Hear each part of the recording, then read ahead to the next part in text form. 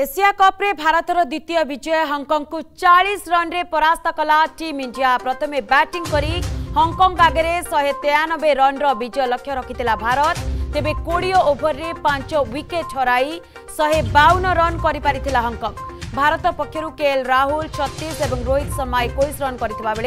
विराट कोहली अपराजित अंसठी और सूर्यकांत यादव अड़सठी रन संग्रह करते ଭାରତର ଦମଦାର ବିଜୟ ଭାରତ ପୁଣି ଥରେ ବିଜୟ ହାସଲ କରିଛି ହଂକଂକୁ ହରାଇଛି ଭାରତ ହଂକଂକୁ ଚାଳିଶ ରନ୍ରେ ପରାସ୍ତ କରିଛି ଟିମ୍ ଇଣ୍ଡିଆ